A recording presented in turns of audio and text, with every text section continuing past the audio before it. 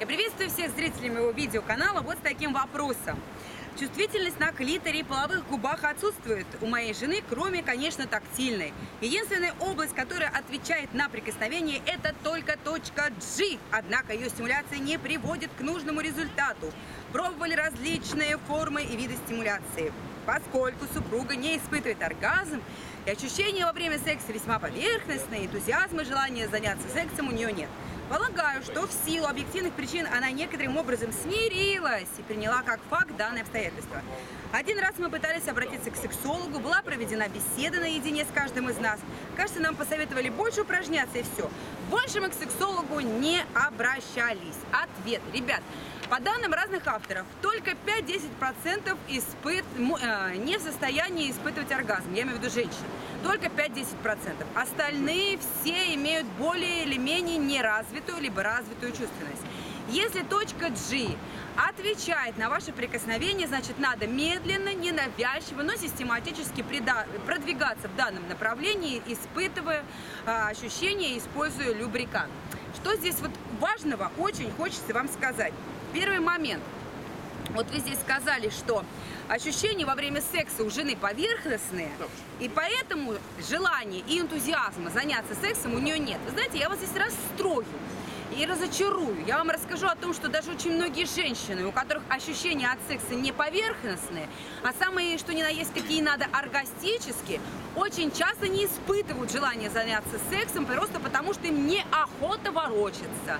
Просто потому, что желание заняться сексом у женщины больше социально, чем физиологично. И женщина очень часто распускается. А не буду и все. А вот я очень часто уже это делала с мужем, и это новизны никакой нет, и все опять одно и то же. Надо себя что-то вымучивать, какую-то польку бабочку с ним в постели плясать. Я такой тоже вот. И отказывается от сексуальной жизни не потому, что у нее нет энтузиазма, э, нет ощущений в сексе, а потому что она не хочет и все, не хочу, потому что я не хочу. Поэтому э, не надо мерить желание заняться сексом э, ощущениями, которые женщина испытывает во время э, занятия сексом. Это один очень важный момент, который вам обязательно надо усвоить. Следующий момент это, хотелось бы сказать, э, отношение ваше к оргазму жены. Если жена шантажирует вас своим оргазмом, и уклоняется от секса по причине его отсутствия, то это не физиологическая ее реакция, которая обусловливает отсутствие ее энтузиазма, а деструктивный тип психологического поведения, которое она усвоила в семье, чтобы шантажировать вас своим состоянием.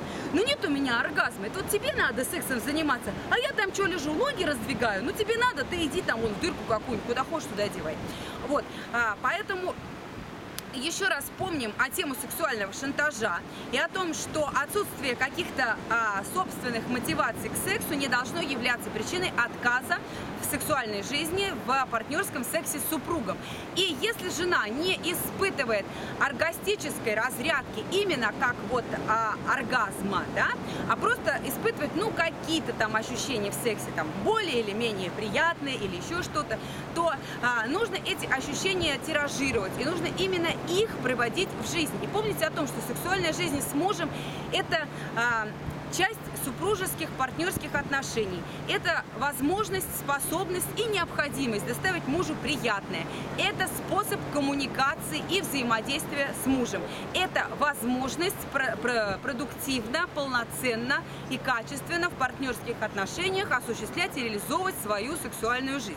Вот, вот это нужно здесь брать за основное, а не то, какие у нее есть ощущения от секса или нет ощущений, поэтому не живу.